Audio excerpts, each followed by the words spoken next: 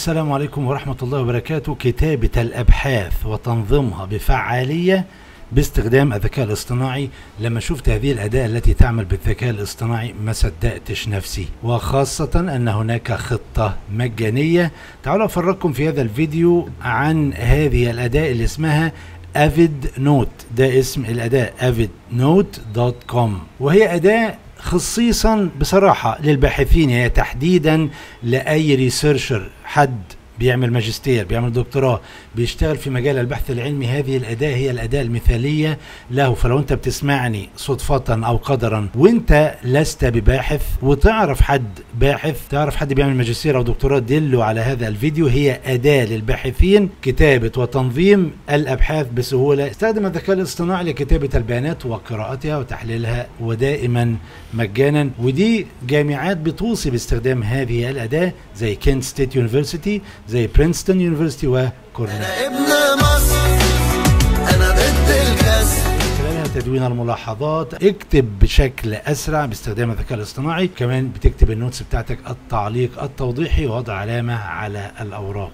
وده مكان كل أبحاثك تكون موجودة فيه في مكان واحد على منصة واحدة. أهي هي دي النسخة المجانية. تعالوا أفرجكم على هذا الجزء باللغة الإنجليزية. أهي free for individual use free وليك كل شهر 10 استخدامات ليها. ليك 1 جيجا بايت storage مساحة تخزينية 1 جيجا collaborate with maximum 1 user ده حتى المدفوعة هنا برضو maximum 1 user غريبة شوية. خد بالك مش بعيدة قوي. هنا 30 مرة في الشهر هنا 10 مرات. يعني هنا مرة كل يوم هنا مرة كل 3 أيام. Regular support والجميل إن هي no credit card required. وهذا هو الموقع بعد ما سجلت طبعا مجانا. بتكون هي دي الواجهة بتاعتك. هنا على الشمال بيقول لك upload PDF طبعا أنا جيت كالعادة على الموقع الرائع اللي اسمه core.ac.uk بتكتب هنا بتبحث عن أي بحث في أي مجال أنت عايزه. أنا المرة دي دورت على هذا البحث اللي بيتكون من 156 صفحة. Guiding language students to self-sustained learning. وعايز أناقش هذا البحث.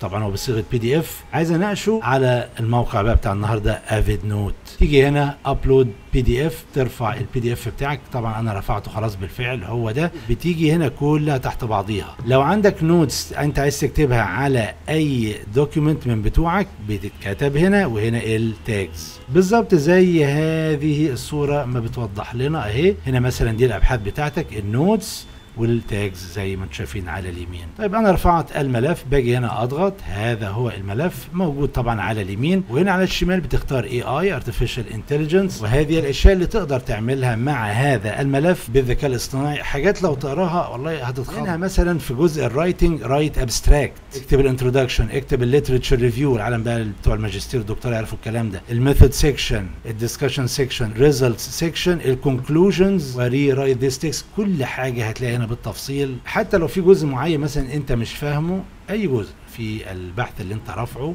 تعالوا نختار جزء. وليكن مثلا هذا الجزء.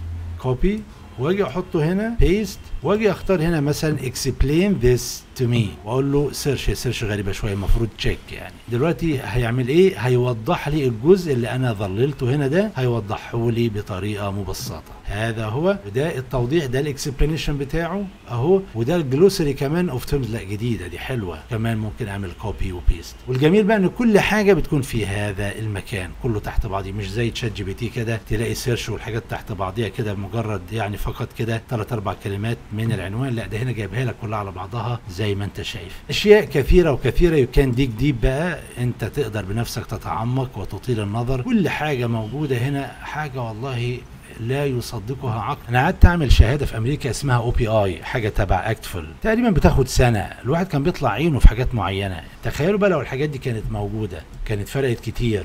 هذه هي الأداة يا شباب.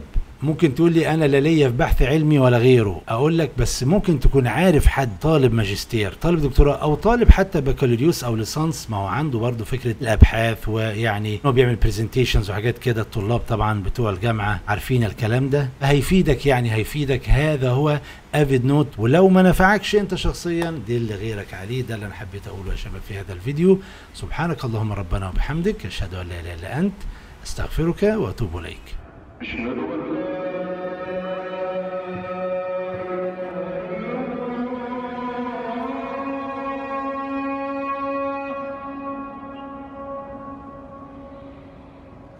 أشهد أن